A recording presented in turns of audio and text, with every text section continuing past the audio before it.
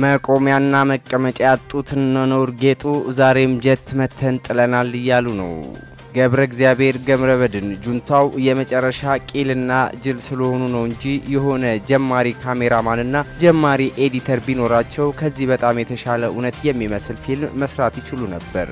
ጀቱ ቢመታ እንኳን ፓይለቱና ጀቱ አንድ ቦታ አያርፉም። በፓራሹት ስለሚወርድ ንፋስ ሌላ ቦታ ነው የሚያወርደው። ሲቀጥል በዚህ ፍጥነት እሳት ነበልባል እያለ ከመቀስፈት ካሜራማን በማምጣት መቅረጹ የጀት አብራሪው ልብስ ፓራሹት አለመኖሩና የትራጊክ ሄልሜት ማልበሳቸው እንዲሁም ጀት አብራሪ ተብዬ የለበሰው ፓካውት ንጣት አይን የሚያጠፋ መሆኑ አጃይብ አስብሏል። በዚህ እውነታቸው በጣም እየተገመቱ ነው የሚገኙት ህወሓቶች።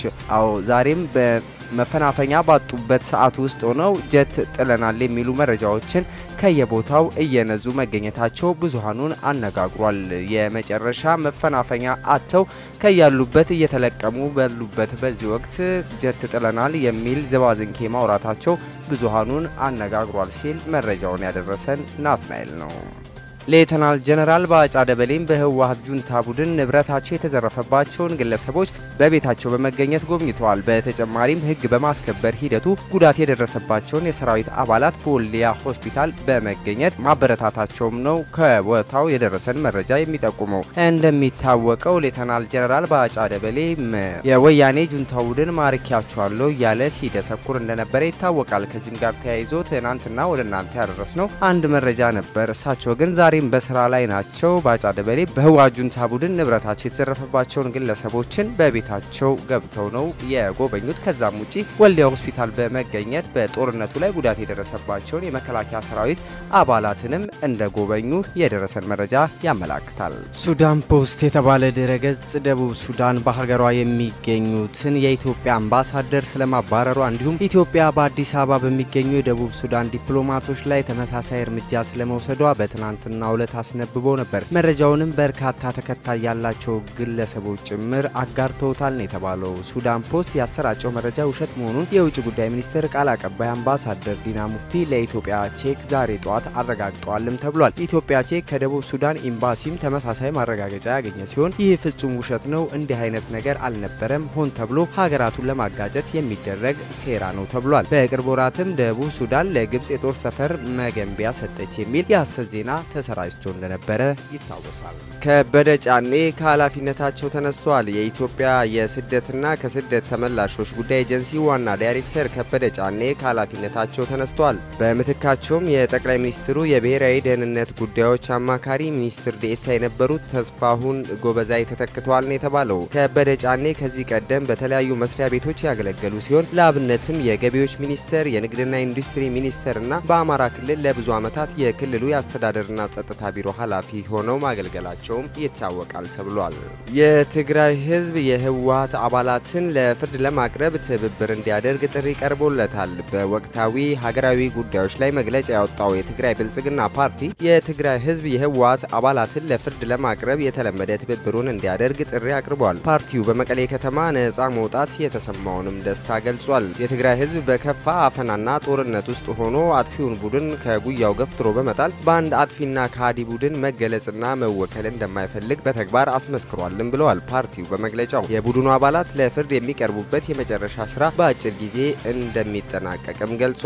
በመሆኑም የትግራይ ህዝብ አሁን እንደተለመደ ሁሉ በዚህ የመጨረሻ ተልዕኮ ላይ ቀና ትብብሩን እንዲያሳይ ሲል አደራም ብሏል። የቡድኑ መሰል ቅሪት አስተሳሰቦችና ተግባራት በቀጣይነት የማጽዳት ስራን አጠናክሮ መቀጠሉ ወሳኝነት እንዳለውም ተዘግቧል። ህዝቡ ወደ ቀደመው መረጋጋቱና መደበኛ እንቅስቃሴው ተመልሶ በሀገራዊና ክልላዊ ለውጡ ያለውን ንቁ ተሳትፎ አጠናክሮ እንዲቀጥልም ጥሪ ቀርቦለታል ነው የተባለው።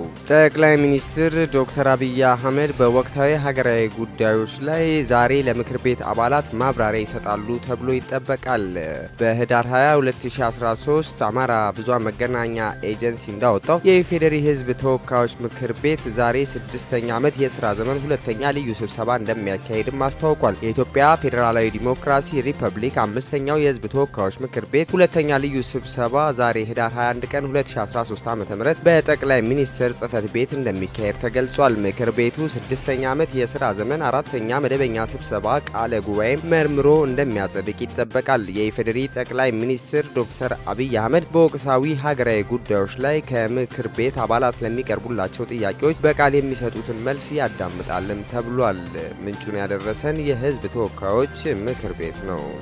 የመከላከያ ሰራዊታችን ሙሉ ለሙሉ መቀለ ከተማን ከተቆጣጠረ በኋላ ከ7000 በላይ የሰሜን እዝ አባላትን ነጻ ማውጣቱ ይታወሳል። የሰሜን እዝ ማዘዣንም መቆጣጠሩ በህግ የሚፈለጉ የህወሓት ቡድን አባላትንም እያደነ እንደሚገኝ ነው የተገለጸው። የጦር ኃይሎች ጠቅላይ ኤታማዦር ሹም ጀነራል ብርሃኑ ጁላ የጀግናው ሰራዊት ድሎችን በተመለከተ ባለፈው መግለጫ በሰጡበት ወቅት እንደተናገሩት የመከላከያ ሰራዊቱ ሙሉ ለሙሉ ድር አድርጎ መቀሌን ከተቆጣጠረ በኋላ ህገወጡን የጁንታው ቡድን አድኖ ለህግ ለማቅረብ ከፍተኛ ጥረት ያደርጋልን ማለታቸው ይታወሳል። ሆኖም ግን የመከላከያ ሰራዊታችን ምንም እንኳን መቀሌን ቢቆጣጠርም እስካሁን ከአካባቢው እየወጡ ያሉ መረጃዎች እንደሚጠቅሙት ከሆነ ከጥቂት ባለስልጣናት ውጪ ህወሓትን የሚወክል የማህበረሰብ ክፍል የለም ተብሎ ቢነገርም እስካሁን ግን ከባለስልጣናት ውስጥ የተያዙ ግለሰቦች አለመኖራቸው ጉዳዩ ምን ያህል እንደከረረ ያሳያልም እየተባለ ይገኛል።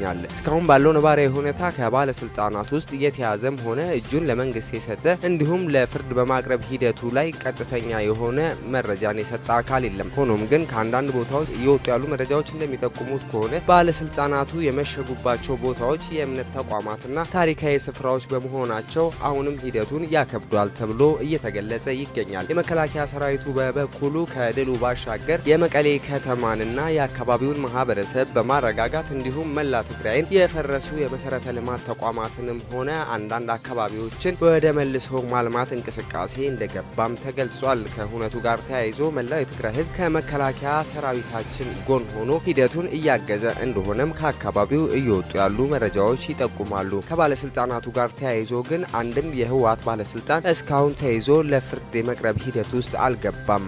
የመሆኑም ሂደቱን አሁንም እንደሚያዘገየው እየተገለጸ መገኘቱ ነው አሁን የደረሰን መረጃ እየጠቆመ ያለው። መቀለ ከተማን ከተቆጣጠሩ ሁለት ቀናቶች አልፈዋል። በእነዚህ ሁለት ቀናቶች ውስጥ ደግሞ እጅ ከሰጡ የትግራይ ልዩ ኃይል አባላት ውጪ ምንም አይነት ባለስልጣን ተይዞ አልቀረበም ነው የተባለው።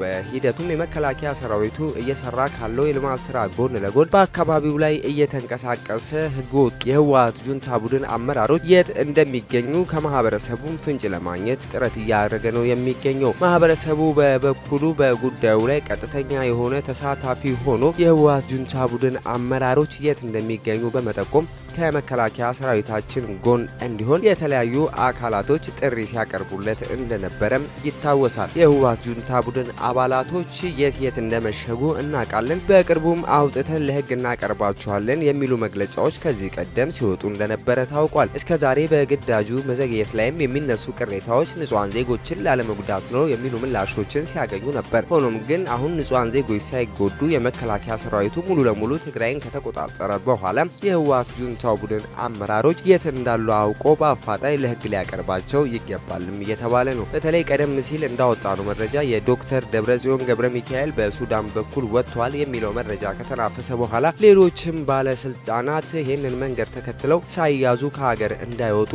መንግስት ከዚህ ቀደም ከሰራው ስራ በላይ አጠናክሮ ሊሰራ እንደሚገባም እየተጠቆመ ነው።